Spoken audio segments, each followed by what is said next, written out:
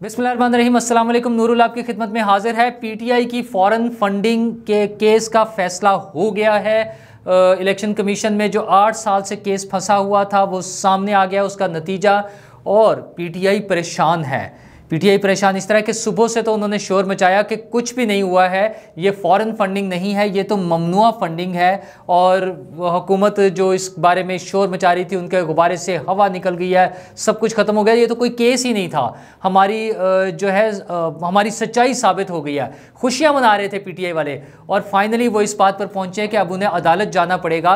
वो इस फैसले के ख़िलाफ़ अदालत में जा रहे हैं। और इमरान खान साहब इमरान खान साहब ने जो पार्टी का इजलास बुलाया, उसमें यह फैसला किया गया है कि इसकी भरपूर मुखालफत की जाएगी, इसके खिलाफ कैंपेन चलाई जाएगी और अपनी जारहाना कैंपेन को जारी रखा जाएगा। इलेक्शन कमीशन के खिलाफ के इलेक्शन कमीशन ने जानबदार फैसला दिया है। तो ये जानबदार फैसला क्यों है? और पीटीआई को क्या परेशानी है? दूसरी तरफ़ हुकूमत की तरफ़ से बातें तो की जा रही हैं, लेकिन ज़रा एग्रेसिव मूड नहीं नज़र आया हुकूमत की तरफ़ से कि ये कोई बहुत बड़ी फतह हुई है। असल में हो क्या रहा है? इसके हकाइक क्या हैं? क्या वाकई ही इलेक्शन कमीशन के इस फैसले पर कोई सज़ा मिलेगी पीटीआई को, या फैसला सिर्फ़ अदालतें ही करेंगी? तो ये असल इशू है, ये असल सवाल है, जिसका हमें जवाब ढूंढना है। तो सबसे पहले तो ये देखें कि फ़ैसला हुआ क्या है। फ़ैसला ये हुआ है कि पीटीआई ने चीज़ें छुपाई हैं। फॉर्म वन जो पार्टी हेड की तरफ़ से सबमिट कराया जाता है हर साल तो उस फॉर्म वन में उन्होंने गलत मालूम मुहैया की हैं। और वो बार बार हुई हैं, पाँच साल तक होती रही हैं और फिर तेरह नामालूम अकाउंट्स हैं जिनके बारे में बताया नहीं गया। ज़ाहिर अब स्टेट बैंक से और दूसरे ज़राए से जब स्क्रूटनी की गई, जब वो जो है तहकीकात हुई तो वो तो सारे सामने आ गए हैं, लेकिन पीटीआई ने खुद से डिक्लेयर नहीं किया उनको। फिर ऐसे अकाउंट्स हैं जो इमरान खान साहब ने खुद खुलवाए हैं, वो उसके सिग्नेटरी हैं, लेकिन उनको भी छुपा लिया गया है।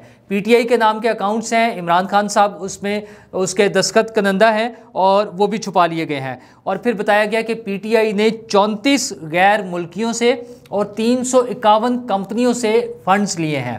अच्छा जो कानून के मुताबिक गैर मुल्कियों से वो किसी भी मुल्क से ताल्लुक़ रखते हैं, जो नॉन पाकिस्तानी होंगे इवन वो पाकिस्तानी भी जो अपनी नेशनैलिटी तर्क कर चुके हैं, छोड़ चुके हैं, और उसके बाद उन्होंने किसी दूसरे मुल्क की नेशनैलिटी ले ली है। असल में पाकिस्तान की तरफ़ से तो ऑब्जेक्शन नहीं है, लेकिन कुछ मुल्कों में ये कंडीशन होती है कि अगर आपने उनकी नेशनैलिटी लेनी है तो आपको अपनी प्रीवियस मुल्क की नेशनैलिटी छोड़नी पड़ती है। तो पाकिस्तानियों ने, जिन्होंने इस तरह की नेशनैलिटी लिया वो भी छोड़ना पड़ेगा। तो ये फॉरेन फंडिंग और ममनुआ फंडिंग में, बल्कि ममनुआ फंडिंग ज़्यादा एक स्ट्रॉन्ग केस बनता है। फॉरेन फंडिंग में तो सिर्फ़ ये है कि जो बाहर के ममालिक से ली गई है ना, गैर ममालिक से ली गया ममनुआ फंडिंग में ना सिर्फ़ वो भी शामिल है, बल्कि अपने मुल्क से भी अगर कंपनी से फंड लिया गया है, क्योंकि इसमें कंपनीज़ और मल्टी नेशनल कंपनीज़ वो फंडिंग नहीं कर सकते। पॉलिटिकल पार्टी के लिए। तो अगर वो भी फंडिंग की गई है तो वो भी ममनुआ है, वो भी इलीगल है, वो सारी चीज़ें इलीगल उसमें आ जाती हैं। फिर आरिफ नकवी साहब की कंपनी से 21 लाख जो अमेरिकी डॉलर्स जो है, उसकी ममनुआ फंडिंग हुई है। अच्छा इसमें एक चीज़ जो ख्याल ये था, एहतमाल ये था कि पीटीआई के लोग इसको बाद में इस्तेमाल करेंगे कि जी हमें मालूम नहीं था कि वो कहाँ से आया। तो इलेक्शन कमीशन ने अपने फैसले में लिख दिया है कि इस बात से कता नज़र कि वो आपको पता था या नहीं। अगर वो इलीगल और ममनुआ फंडिंग है तो वो ममनुआ फंडिंग के ही फ्रेमवर्क में आएगी। तो ये बात भी उनके लिए ख़तरनाक है। वूटन क्रिकेट क्लब से जितने पैसे आए हैं ब्राज ग्रुप का वो कंपनी थी, वहाँ से आए हैं। और फिर मुख्तलिफ़ बैंक अकाउंट्स हैं, फिर यूएई से आया है। जो यूएई से उनके यूएई के जो कवानीन हैं, उनके मुताबिक खैराती इदारों को फंडिंग नहीं की जा सकती।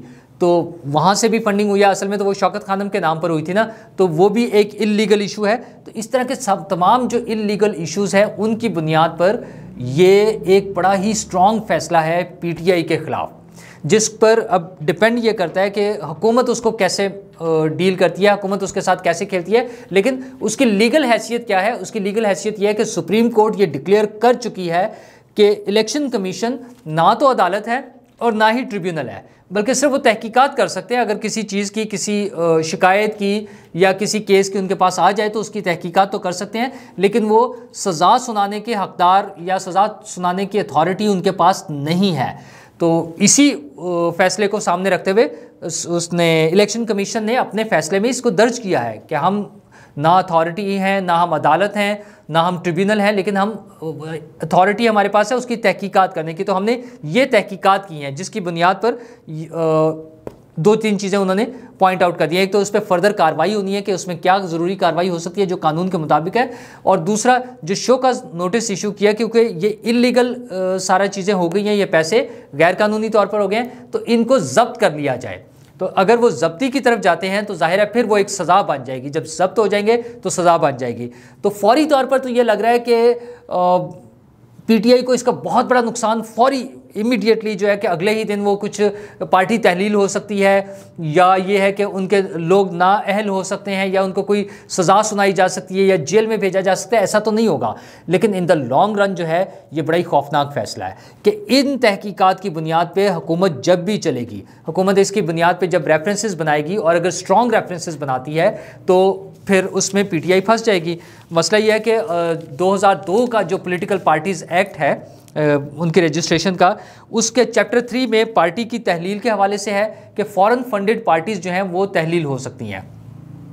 और उसके अलावा उसका जो आर्टिकल टू है चैप्टर टू जो है, उसमें है कि जो पार्टीज़ मुल्की सालबियत के ख़िलाफ़ जा सकती हैं। तो अगर फॉरेन फंडेड पार्टीज़ का हुकूमत इस्टेब्लिश कर ले इस फैक्ट को कि ये फॉरेन फंडेड पार्टी जो है वो मुल्की सलामती के ख़िलाफ़ जा सकती है तो फिर इवन पार्टी की तहलील के लिए भी कार्रवाई शुरू हो सकती है। यानी पार्टी को बैन किया जा सकता है, उस पार्टी की एग्जिस्टेंस जो है वो ख़त्म हो जाएगी, उस पार्टी का वजूद ख़त्म हो सकता है।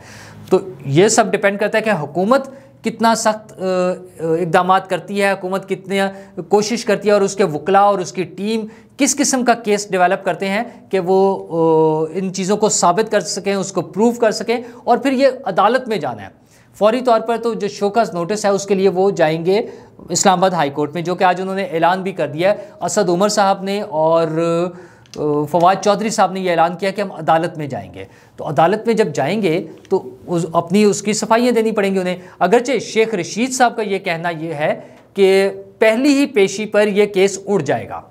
अच्छा चूँकि उनकी मोहब्बतें बहुत हैं, पहले, लेकिन आप जहन में रखिएगा कि पहले उनकी मोहब्बत जी एच क्यू से बहुत ज़्यादा थी। तो वो हर चीज़ उसके बारे में क्लेम करते थे और अपने आप को वो आर्मी चीफ से भी ज़्यादा सीनियर डिक्लेयर करते थे, लेकिन फिर वक्त ने साबित किया कि वो वहाँ से फारिग हो गए हैं। वो गेट नंबर चार, जहाँ से उनका दाखिला होता था या जहाँ से वो अपने आप को सीनियर समझते थे, शायद उनका दाखिला भी बंद हो चुका हुआ है वहाँ पर। तो अब वो बन गए हैं, तर्जमान, खुद साख्ता सुप्रीम कोर्ट के या अदालतों के कह लें कि वो ये कह रहे हैं कि पहले ही पेशे पे इसको उड़ा दिया जाएगा। अच्छा ऐसा मुमकिन नहीं है, लेकिन अगर हम सबका रिकॉर्ड देखें, अदालत का कि अदालत क्या क्या कर सकती है तो वो जो कल मैंने कहा था कि इंडियन गाना याद आता है कि मैं हूँ ना तो इमरान खान साहब खुद बता चुके हैं कि जजेस उन्हें खुद से बुलाते हैं, उन्हें रिक्वेस्ट करते हैं। अदालत के सुप्रीम कोर्ट के जज उन्हें रिक्वेस्ट करते हैं कि इमरान खान साहब आएँ, अदालत में आएँ, ताकि हम आपका मसला हल करें, आप बजाय सड़कों पे जाके एहतजाज करने के। तो क्या अब भी इमरान खान साहब को वही सपोर्ट अवेलेबल है अदालत में?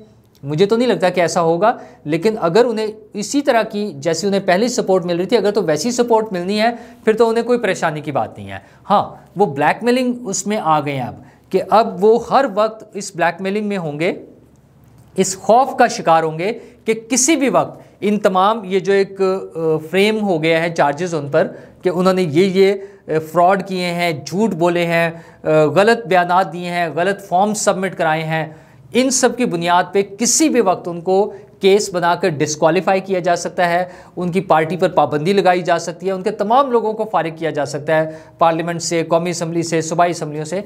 तो ये उनके लिए बड़ी खौफ की बात है, जिसमें वो परेशान, ज़ाहिर है परेशान हैं। इसीलिए वो इस पर एहतजाज करने की तो कॉल दे रहे हैं, लेकिन उन्हें पता है कि ये मसला कानूनी है।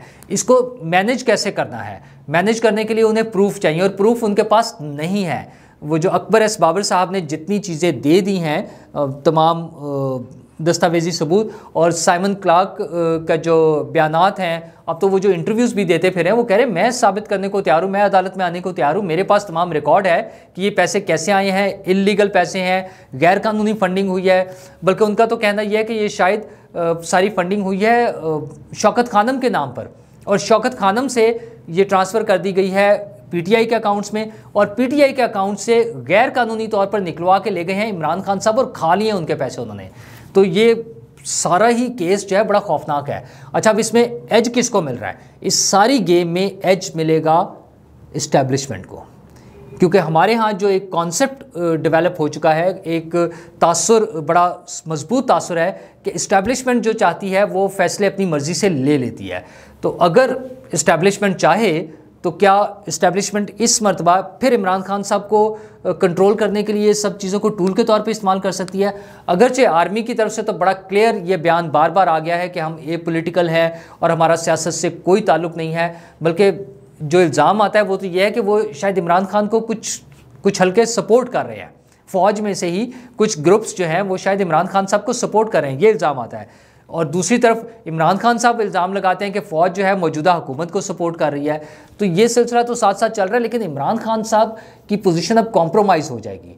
उन्हें जब तक ये केस मौजूद रहेगा, या तो वो खुद सुप्रीम कोर्ट पहुँच जाएँ और इस सारे केस के लिए क्लीन चिट ले लें कि जनाब ये सब कुछ ठीक है, कोई प्रॉब्लम ही नहीं है। अच्छा उनके लिए शायद आसान हो, क्योंकि जिस तरह से उनको बनी गाला केस में क्लीन चिट मिली थी, एक एक सीधा सीधा सा फ्रॉड का केस था।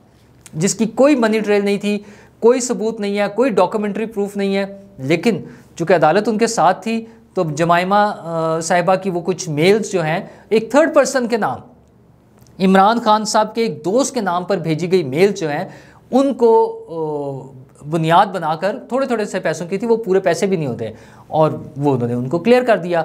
अच्छा फिर 25 मई के वाक़ात पे जिस तरह से उनको क्लीन चिट मिली है, वो भी एक हैरान कन वाक़ है चूँकि हमारे यहाँ आइन की इंटरप्रटेशन जो है वो करनी सुप्रीम कोर्ट ने है तो मुमकिन है हमें एक आम आदमी को उसकी समझ ही ना आती हो कि ये आइन में क्या लिखा हुआ है। अदालत ने सबसे बेहतरीन तो अदालत ही समझ सकती है ना? तो अदालत ने ये मुनासिब समझा कि वो इमरान खान साहब को क्लीन चिट दें और बताएँ कि उन्होंने कोई गलती नहीं किया। बिल्कुल ठीक है, उनके लोग उधर चले गए हैं। रेड जोन में जिसके लिए मना किया था अदालत ने, कोई बात नहीं, क्योंकि उन तक मैसेज नहीं पहुँचा होगा। अगर उन्होंने आग लगा दी है चीज़ों को तो वो टीयर गैस से बचने के लिए की होगी। तो ये सारी चीज़ें जो है, अदालत की तशरी थी। हमें उनको माननी पड़ेगी। हमारे पास और कोई ऑप्शन ही नहीं है। अदालत सबसे बड़ा फोरम है जो, जिसकी जो बात है वो हतमी है और आखिरी है कि उन्हीं ने जो कह दिया वो करना है। तो अब भी अगर लोग नाम लेते रहे कि इंडियन शहरी हैं, वो रुमिता शेट्टी का नाम जो आ रहा है कि वो बेसिकली इंडियन ओरिजिन की हैं और अमेरिकन नेशनल हैं और उसके अलावा मुख्तलिफ़ कंपनीज़ हैं, जो अमेरिकन भी हैं इंडियंस भी हैं, उन सबने फ़ंड्स दिए हैं, उन सबने वो दिया है, चंदा दिया है इमरान खान साहब को। तो मुमकिन है कल को कोई ऐसी प्ली आ जाए इमरान खान साहब की पार्टी की तरफ़ से कि देखें जी, वो हम तो उनकी, ये जो नॉन मुस्लिम्स हैं या इंडियंस हैं, हम तो उनकी इकॉनमी को कमज़ोर करने की कोशिश कर रहे थे उनसे पैसे लेके। मतलब कितनी ये मजाहिया सी बात होगी, लेकिन अगर उनकी तरफ़ से आगे तो हो सकता है इस बात को तस्लीम कर लिया जाए किसी और फोरम पर कि हाँ ठीक है, इनकी तो कोई कसूर ही नहीं है। और सबसे स्ट्रांग उनके पास, अगरचे इलेक्शन कमीशन ने तो बड़ा क्लियर कर दिया कि वो ये बहाना नहीं कर सकते कि हमें नहीं मालूम था, लेकिन उनकी पार्टी के लोगों ने कहना शुरू कर दिया है कि इमरान खान साहब को क्या पता था कि कहाँ से आए। उनसे तो बस साइन कराए जाते थे। तो बहुत सीधे साधे से आदमी है ना इमरान खान साहब। उन्हें तो पता ही नहीं होता कि वो किस चीज़ पर साइन कर रहे हैं और किसके लिए कर रहे हैं। तो वो इस तरह से करके पैसे हैं। क्या हो गया? करोड़ों अरबों रुपए में बात जाती है, इतने पैसों से उनको क्या फ़र्क पड़ता है? सेठ आदमी है ना? तो वो अलग बात है कि जुए में भी जीते हुए उन्होंने पैसे, लेकिन फॉर्म वन को गलत बयान करना बार बार पाँच साल तक उसमें गलत बयानी करना, मुसलसल अपने अकाउंट्स जो हैं वो इलेक्शन कमीशन से छुपाना, अपने पर्सनल सिग्नेटरी के तौर पे अकाउंट्स बनाना, अपने दोस्तों के अकाउंट्स बनवा कर अपनी पार्टी के लोगों के अकाउंट्स के ज़रिए पार्टी का फ़ंड जो उसमें आ गया था पार्टी फ़ंड में, उसको निकलवा के कहीं और इस्तेमाल कर लेना, जिसका कोई सबूत नहीं है। ये सब वो संगीन जराइम है। और गैर मुल्कियों से पैसे लेना, गैर मुल्कियों से फ़ंड्स लेना, गैर मुल्की कंपनियों से और इवन पाकिस्तान में भी मौजूद कंपनियों से कंपनियों से चूँकि नहीं ले सकते। इन सबसे फ़ंड्स लेना जराइम है। अगर हुकूमत में इतनी हिम्मत है अगर हुकूमत के पास कोई अच्छी वकला की टीम है, जो कि मौजूद हैं वकला अच्छे अगर उनके ज़रिए हुकूमत कोई अच्छा केस तैयार करती है तो इमरान खान साहब के लिए बचना मुमकिन नहीं है। फिर उनकी उम्मीदों का सहारा सिर्फ़ और सिर्फ़ दो पार्टीज़ बचेंगी इस्टेब्लिशमेंट और अदालतें। अगर अब वो देखते हैं कि इमरान खान साहब इतने क्लियर एविडेंसेस होने के बाद, इतने वाज सबूतों के बाद, क्या इस्टेब्लिशमेंट में कुछ ऐसे लोग हैं जो उन्हें सपोर्ट कर सकते हैं। क्या अदालत में ऐसे लोग मौजूद हैं जो उन्हें सपोर्ट कर सकते हैं? और इसकी कोई नई इंटरप्रटेशन बना के चीज़ों की, कोई नई तशरी बना के कानून की, क्या उनको बचा सकते हैं? ये तो अब आने वाला वक्त बताएगा। लेकिन आज की इस कार्रवाई से लग ये रहा है कि उन्हें थोड़ा सा टाइम मिलेगा। अपनी नेगोशिएशन के लिए, लोगों से डील करने के लिए, अपने आप को बचाने के लिए जो जो उन्होंने एफर्ट्स करनी है, उसके लिए उनके पास टाइम है। क्योंकि इलेक्शन कमीशन के फैसले से फौरी कुछ भी नहीं होना कि सुबह ही कोई उन्हें आके पकड़ लेगा, उन्हें अदालत में ले जेल में डाल देगा या इस तरह का कुछ नहीं होना। हाँ उन्होंने ये काम शुरू किया हुआ है। आप ये देख लें, पंजाब में वो नज़ीर चौहान साहब की जिस तरह से गिरफ्तारी हुई है, वो हमारे सामने है। वो वीडियो मौजूद है कि कैसे उनके ऊपर कपड़ा डाल के और उनके धक्के मारते हुए और एक तरह से तशद करते हुए उन्हें उठा के ले गए हैं। तो ये पीटीआई की हुकूमत के पास है, पंजाब में पीटीआई की हुकूमत है ना? वैसे तो हुकूमत काफ लीग की थी और पीटीआई इतिहादी हैं, लेकिन असल में पीटीआई की हुकूमत है। और उसका एक बड़ा वाज सबूत आज ये हुआ है, सामने आया कि पीटीआई की इस पंजाब हुकूमत की जो कैबिनेट बननी थी, उसके लिए इमरान खान साहब ने जो मंजूरी दी है, वो अट्ठारह वज़रा की दी है। और 18 के 18 वज़रा जो हैं, वो पीटीआई के हैं, उसमें काफ लीग का कोई वज़ीर शामिल नहीं है। हालाँकि उस्मान बुजदार साहब की कैबिनेट में पीटीआई के दो या तीन वज़ीर शामिल थे। तो उनके नाम भी भेजे थे परवेज़ लाई साहब ने, लेकिन इमरान खान साहब ने उनको लिफ्ट नहीं कराया। उनका सॉरी, ये फारिग है। ये सिर्फ़ पीटीआई की कैबिनेट होगी। आपको इतनी बड़ी चीज़ दे दी है ना, वजारत आला दे दी है काफली को मतलब चौधरी परवेज़ लाई साहब को जो दे दी है तो अब उसमें और कोई गुंजाइश नहीं है। अभी फ़िलहाल तो। तो ये ये जहाँ पर एक तरफ़ पीटीआई की या इमरान खान साहब की मजबूती नज़र आ रही है, वहीं पर एक ख़तरे का सिग्नल भी है कि चौधरी परवेज़ लाई भी पुराने खिलाड़ी हैं और अगर उनको इस तरह से प्रेशराइज़ किया जाएगा, उनको दीवार से लगाया जाएगा अपनी ही पार्टी में मतलब पीटीआई में तो ये मुश्किल हो जाएगा फिर। ये चीज़ ज़्यादा लंबा नहीं चलेगी। इमरान खान साहब तो अब इसको चलाना चाह रहे हैं ना। वो तो कह रहे हैं कि आप तमाम मनसूबे शुरू करें, सेहत कार्ड पे काम करें, जो राशन वाली स्कीम थी उस पर काम करें, लोगों में जाएँ, लोगों पे काम करके दिखाएँ कि नाम हो कि पीटीआई की हुकूमत कुछ कर रही थी। तो अगर परवेज़ इलाही से ये सारे काम कराने हैं तो परवेज़ इलाही की बातें भी माननी पड़ेंगी। फिर उनके कुछ लोगों को वज़ीर बनाना पड़ेगा।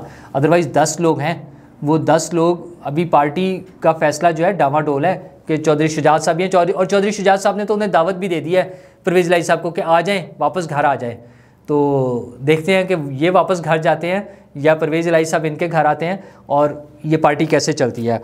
और जनाब उसके अलावा एक जो अफसोसनाक वाक़ कल हो गया है, हम आपसे डिस्कस नहीं कर सके थे।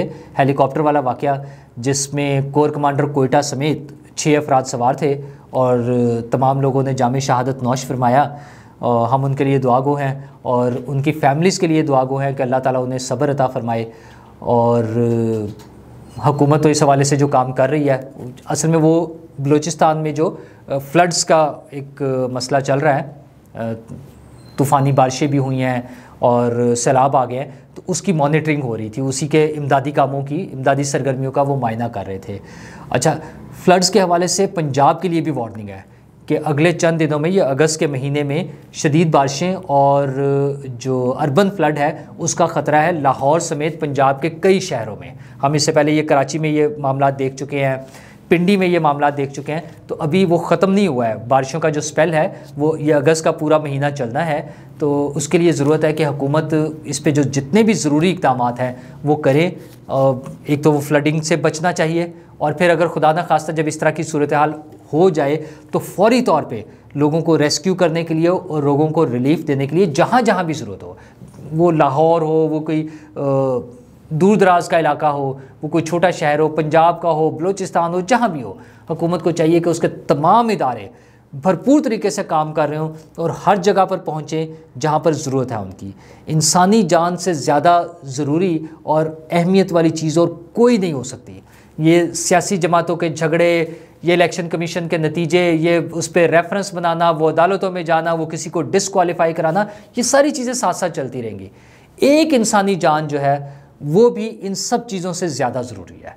तो हुकूमत के लिए सबसे ज़रूरी है कि सबसे पहले ये करे, उसके बाद अगले स्टेप के तौर पे उन्होंने इमरान खान साहब के साथ लड़ाई लड़नी है, सियासी लड़ाई लड़नी है, उनको डिसक्वालीफाई कराना चाहते हैं, उनके खिलाफ मुकदमात बनाना चाहते हैं, जो भी करना चाहते हैं, वो फिर बाद में करते रहें। सबसे पहले अवाम की खिदमत।